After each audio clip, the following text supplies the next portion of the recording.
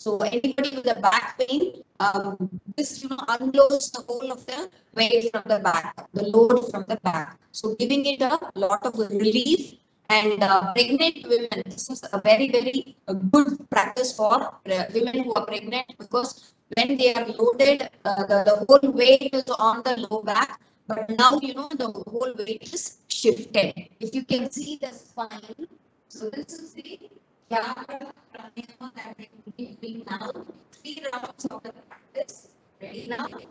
Start breathing in. Three, four, five, six. Out, neck down, and spine up. See. In, two, neck up, and spine down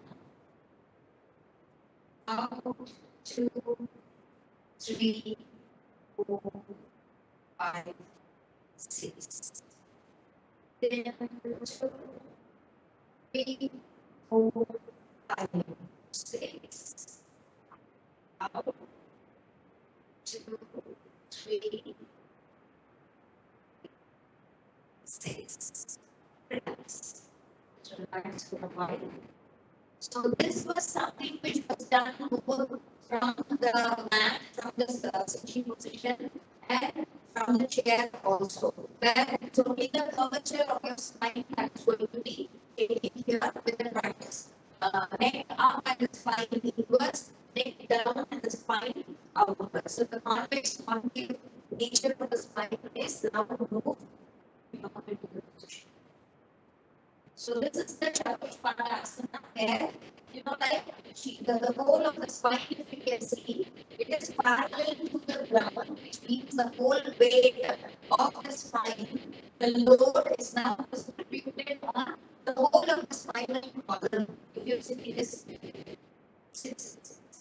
So this weight is kind of like loaded and the whole of the weight now settles down on the lower back. And so we after so many years to start having a lower pain, it becomes a common feature in everybody. But this now immediately shifts the whole weight on and the whole weight shifted over the spine. It is distributed, so the whole load is not just on the back. And this in fact enhances your spinal health also.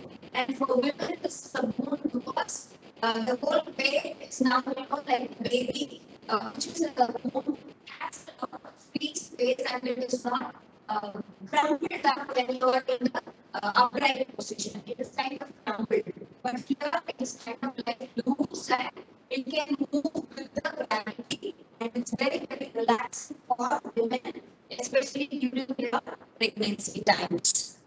Relax.